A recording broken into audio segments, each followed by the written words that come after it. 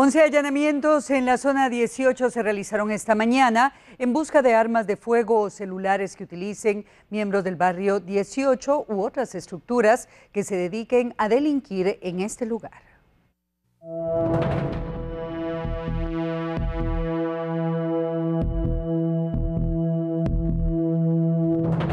Armas de fuego, explosivos o personas que tuvieran órdenes de captura era lo que buscaban las autoridades desde muy temprano en varios lugares de la zona 18.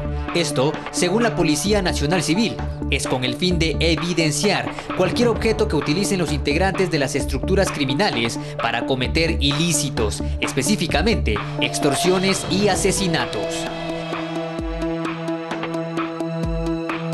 Las viviendas que fueron allanadas son rentadas por los supuestos delincuentes, lugares donde no permanecen fijamente, sino solo los usan para planificar crímenes y almacenar materiales, según los informes.